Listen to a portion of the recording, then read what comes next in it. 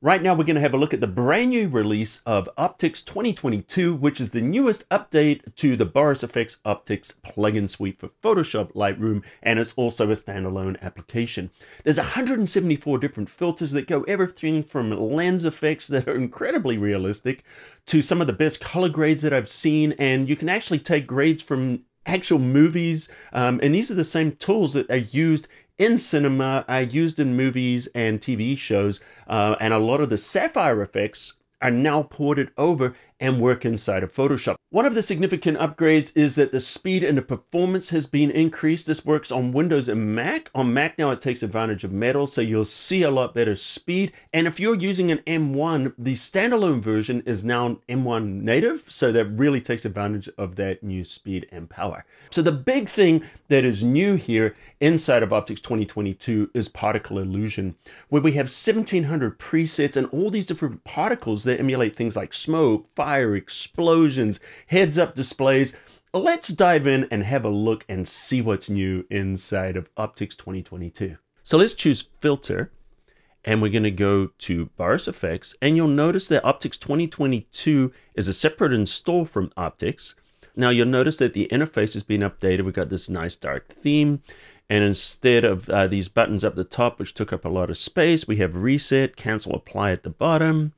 Uh, we have nice tabs for each uh, category. And we can scroll through these and you'll see there are lots and lots of them. So let's start with particle illusion. So particle illusion gives us all kinds of background effects. Fully editable. We've got dusts and fogs and smokes. We've got different digital emitters.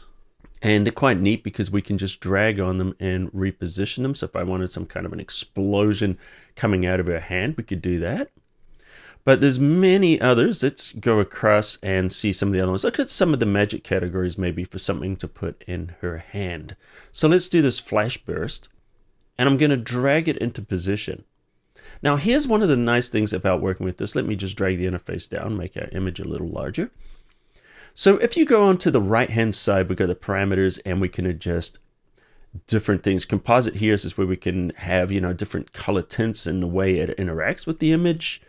Uh, particle properties, we have, you know, we can put a glow on here and notice that the glow extends into the image, not just on the uh, particle itself.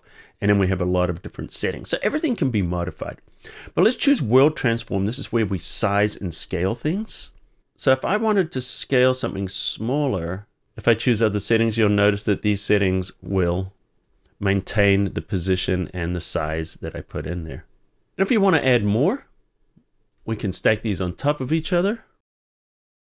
These are also time-based, so that means that we can go through different frames and find different versions of these until you find one that really works for you. You also have the ability to launch particle illusion. And in particle illusion, you have the ability to modify so many different parameters, even put these into a 3D view, uh, and they will animate. So these are based on animations. And if you want, you can hit render and you could render out an animation. But let's find a frame that we like. I like this frame better. Let's hit apply and notice it updates in our image. Let's create another new layer. And under the render settings, we now have Ultra Zap, which creates lightning but much more powerful than what we had in the past. And notice I can just change the path of this.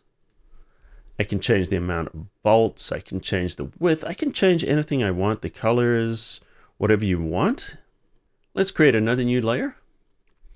And another new filter is under the light settings. We have a ultra glow, which adds these amazing looking glows that we have, of course, full control over.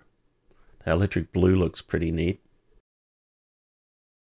As well as giving us glows, we can apply masks and control where they go.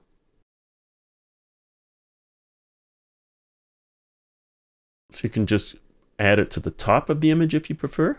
One category I really love is the GUIs and HUDs. And these are things I used to spend so much time creating by hand. And these are also time-based, so they can change. And of course, they can also be animated. So we have all the powerful color grading tools. We have the color correction, presets from different movies.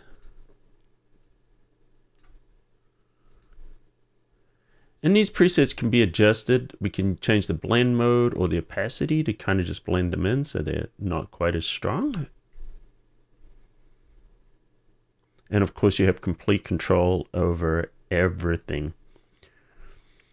So one of the things that makes optics so powerful is just the huge amount of filters. So we've got different categories. We've got all these different uh, colorizing filters, and then we can go into the film lab and some of the ones I really like here emulate different types of film. So we can choose different film stocks,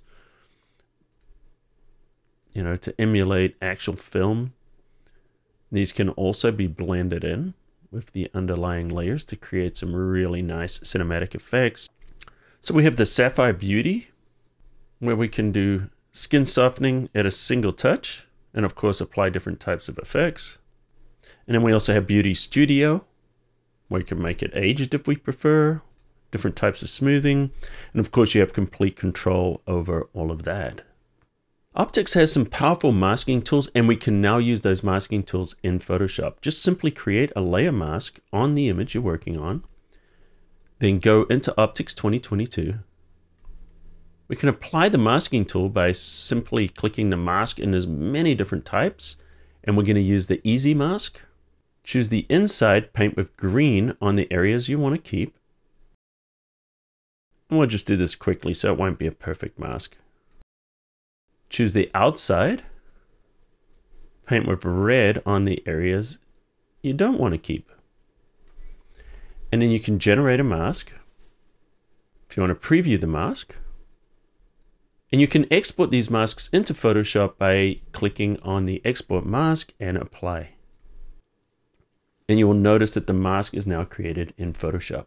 And let's be honest, I'm actually very excited about these effects and I'm going to be using them a lot. I've already been playing with them and I'm going to probably stay up very late a lot of nights fooling around with these and just adding that extra something to my images. So personally, I think, you know, this is a no-brainer. If you don't have it yet for Photoshop, it's really worth it.